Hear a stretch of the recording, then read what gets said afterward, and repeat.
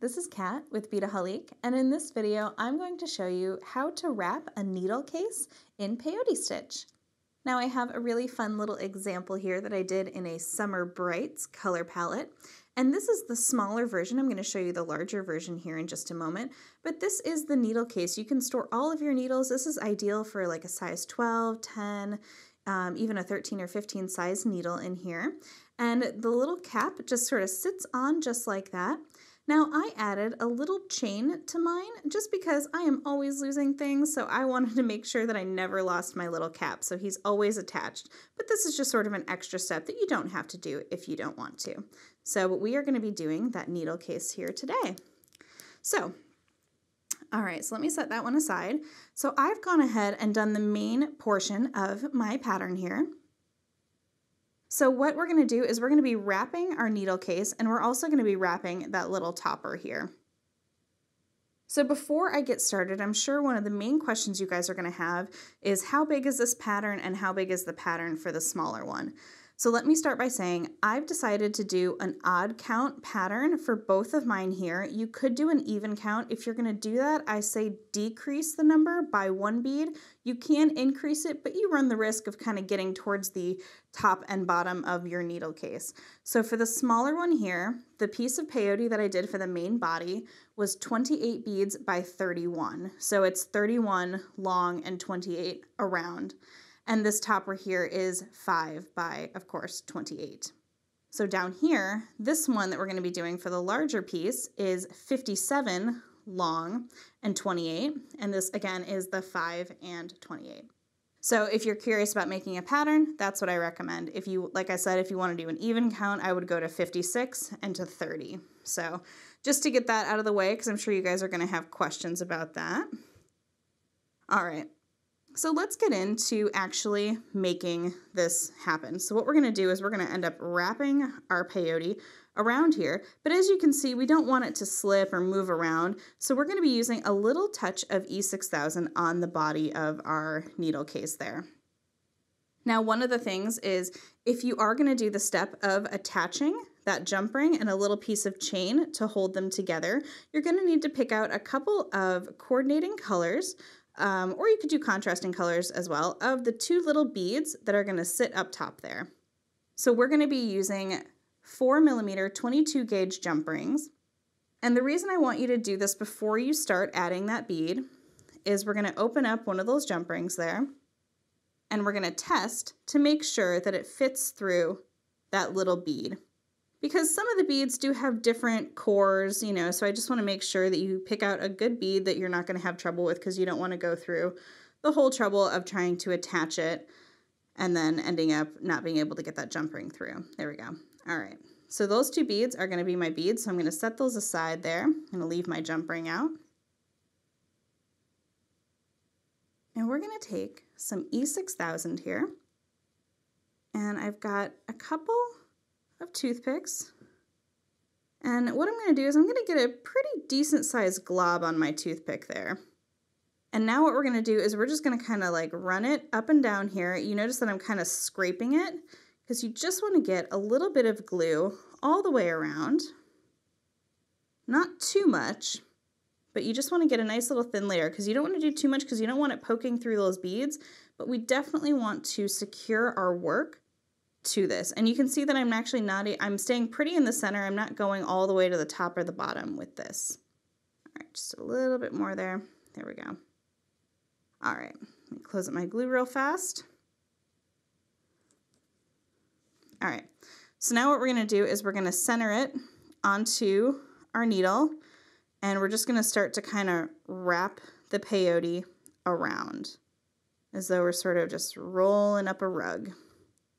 All right, and then start pressing together.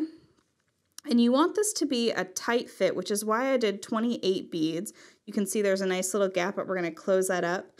But I'm just kind of pushing it together and just rolling it up. You can kind of roll it on your work surface as well, just to make sure you're getting all those little pockets out of there.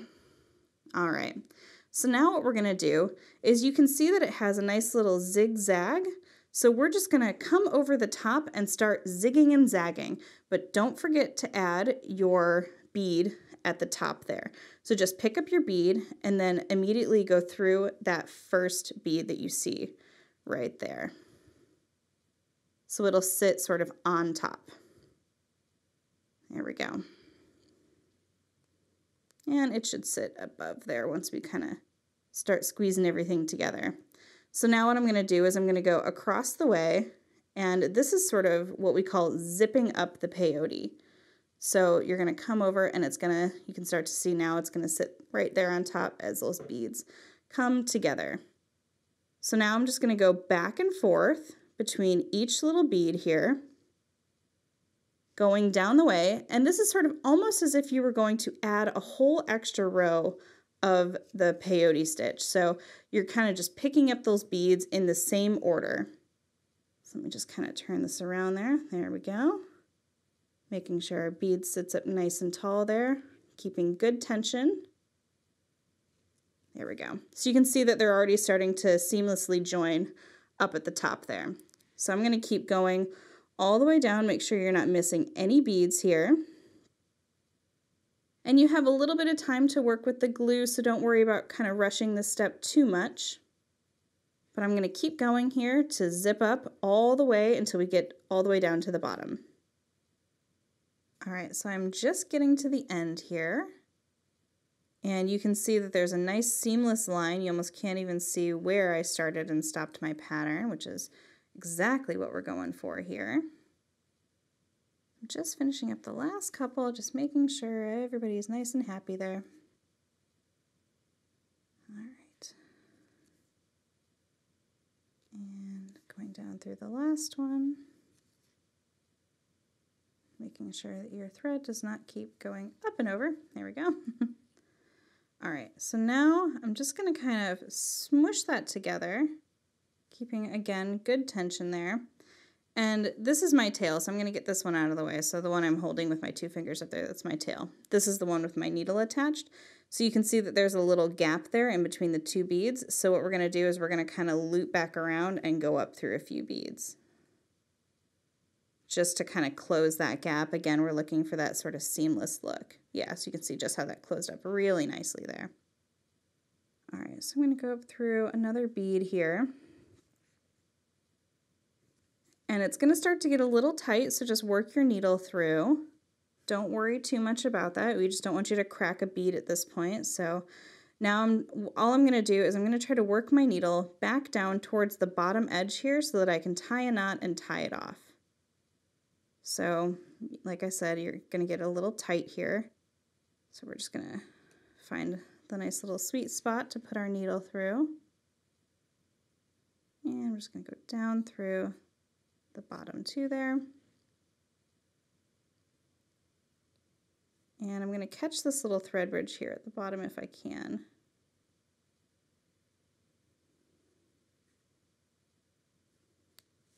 Oh, maybe go that way. There we go. So I caught my little thread bridge and I'm just going to tie a little tiny knot. Then I'm going to go back up through a couple more adjacent beads. All right, so there we go with that one. I'm going to cut this one off. And then all I'm going to do with my other little thread tail is I'm just going to do the same thing and just kind of work it through a couple of beads, tie a little knot, and then tie it off. All right. So I'll do that and then we'll be back and I'll show you how to attach the top and then we're going to add our chain and we're going to be all done. All right, so we're just going to repeat that process using the little thin strip and our topper there. So first things first, I have my bead all set up and ready to go. Let me get some little bit of E6. I'm going to need a new toothpick. and we're going to just put a little bit on there. That actually might be too much, but close that up. All right. And again, just kind of put a little bit on there. Yeah, that was a little much. All right. This one needs even less, but we still want to get nice little coating that goes all the way around there.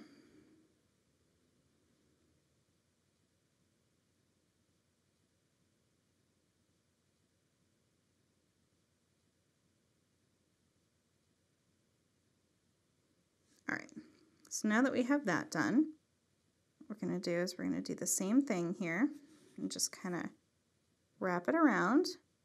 And you can kind of slide it around just to make sure that it's at the level that you want it. There we go.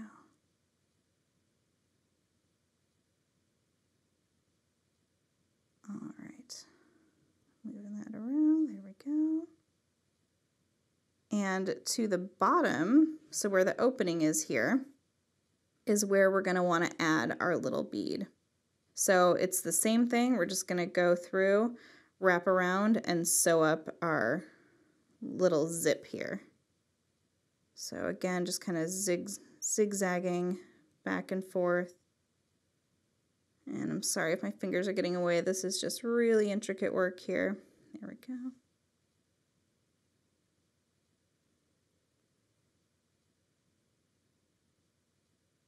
All right, so and then same as before, we're just gonna end up tying it off in the same manner.